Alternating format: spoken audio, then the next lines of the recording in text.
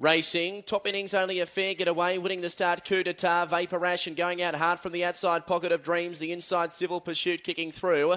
They're tracked by top innings going forward out wide Special Pup. Long break back now to Premier Magpie, then Texan and going a miss coup d'etat but taking the lead. Vapourash sprinted through, went clear and Vapourash too good by three lengths over Special Pup. Top innings charging through the inside. He might have grabbed third off Civil Pursuit in a photo finish.